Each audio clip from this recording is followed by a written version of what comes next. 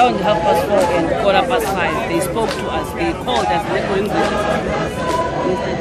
We were sitting with them at room 604 at Tosa discussing the area where we were going to do it at that time.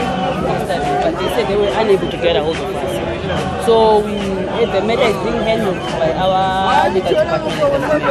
But we'll only be able to know what is happening once we thoroughly consult because they're still looking at the paper we speak.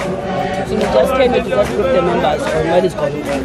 Okay, okay. So just tell me, uh, with regards to the strike itself, just remind us about some of the demands that you guys were making to, to, to.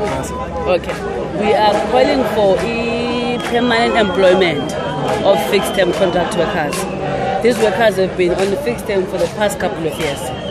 We are also calling for them to not being divided any longer by management because currently they are being paid differently whereas they are doing the same scope of work. That is causing divisions amongst them. And we are also saying none of that will be happening if management of PRASA was doing what they were supposed to do, if they were up to standard with what they were supposed to be doing.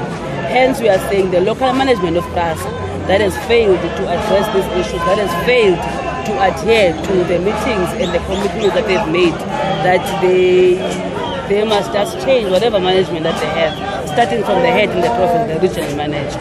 That is what we are So, saying. going back to the interdict, would you say the interdict has sort of stopped your your demands in the moment while you still review uh, that, that, that, that, that interdict? No, it has not stopped the demands. It has temporarily stop the strike, not the demands. We will continue the processes. We are not going to abandon it because of the interdict. We will continue, but the only point that we are not going to be able to continue on is the strike because that is the only aspect that was interdicted.